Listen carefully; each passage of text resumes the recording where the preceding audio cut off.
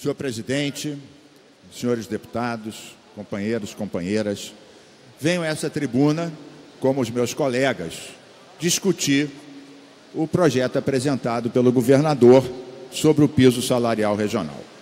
Como já foi dito, ele tem inconstitucionalidades. Ele tenta congelar por dois anos, o que é inconstitucional, e atribui um valor zero bem abaixo do que o próprio empresariado propôs. Você está querendo ser mais realista do que o rei. Vários deputados falaram, ouvi o deputado Valdec, o deputado Luiz Paulo, ouvi o deputado Márcio Pacheco, né, líder do governo. Quero dizer o seguinte: nós do PSB somos um partido de oposição, o que não significa que nós não tenhamos compromisso com as finanças do Estado.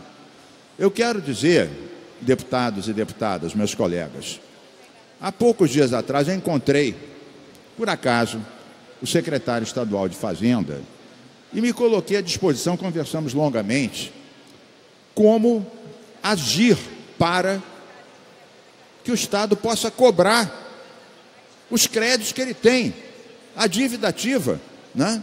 Há números diferentes, mas isso gira em torno de 16 bilhões. E dei várias sugestões, o secretário ficou interessado. Falei de outras iniciativas que nós já tivemos, junto com desembargadores do Tribunal de Justiça, junto com a PGE, a Procuradoria-Geral do Estado, mas que não foram bem sucedidas, no sentido da gente cobrar essa dívida. Falamos também longamente sobre a questão dos subsídios.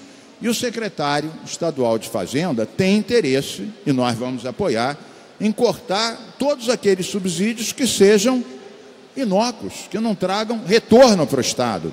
E mais ainda, durante esses anos todos, o Estado foi incapaz de dizer qual foi o retorno positivo em matéria de empregos e dinheiro para a perda de arrecadação. Né? É uma renúncia fiscal quando você dá um subsídio. Então, eu estou dando esse exemplo para mostrar que a gente tem compromisso com a saúde fiscal do Estado. Dito isso, o deputado Valdec foi feliz né? Não vão ser deputado Luiz Paulo também, não vão ser os trabalhadores que vão pagar exclusivamente pelo equilíbrio. Até parece que congelar o salário das empregadas domésticas e dos porteiros vai tirar o Rio desse buraco que ele está de bilhões e bilhões e bilhões. Tendo dado muitos bilhões de incentivo fiscal, vários deles duvidosos, e não sendo capaz de cobrar dívidas que tem a receber num valor superior a 16 bi. Ou seja, aí está o que pode ajudar a equilibrar nossas contas. Nesse momento que todos os custos aumentam, você colocar reajuste zero por dois anos, nós vimos, inclusive, pelos votos dos deputados, tanto da oposição quanto do governo, em todas as comissões, que todos votaram a favor do parecer da Comissão de Justiça apresentado pelo deputado Luiz Paulo. E o que, que diz esse parecer? O parecer diz: a lei é por um ano, como reza a Constituição, e o valor é um valor exatamente intermediário entre a proposta de 1,25 do empresariado e 6,95 dos trabalhadores, que é a inflação verificada no período. Não acho que é um caminho do meio. É claro que eu, pessoalmente, subscrevi emendas que foram aquelas apresentadas pelas centrais sindicais, que reivindicam um reajuste de 6,90, porque incorpora a inflação e incorpora a produtividade. Nós subscrevemos essas emendas. Todas as centrais sindicais, em conjunto, apresentaram essa emenda. Mas sabem, os trabalhadores estão acostumados, né, quem é sindicalista vive a negociação, greve, negociação, né? plenárias, essa é a vida. Então, nós vamos trabalhar para não haver arroxo salarial. Até porque, deputado Márcio Pacheco, não faz bem para o Rio o arroxo.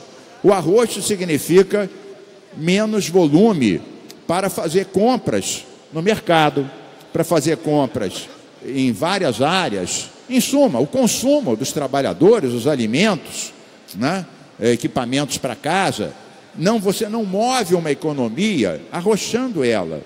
Você tem que tirar os subsídios indevidos, você tem que cobrar a dívida a receber, tem que enxugar a máquina sim aonde couber, mas não massacrar os trabalhadores e zerar por dois anos, impondo um arroxo perverso e cruel àqueles que fazem mover a nossa economia. Lembrando que o piso salarial, o, o, o, a tabela máxima, né, o nível máximo do piso salarial, se não me engano, é R$ 3.800. Né? Então, se a gente for ver aqui na Assembleia, por exemplo, né, não sei quem recebe menos do que isso.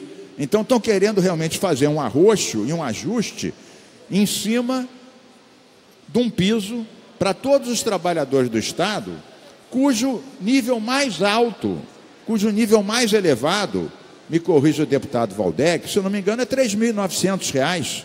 Né? Então, não é aí que o Estado vai sair da crise.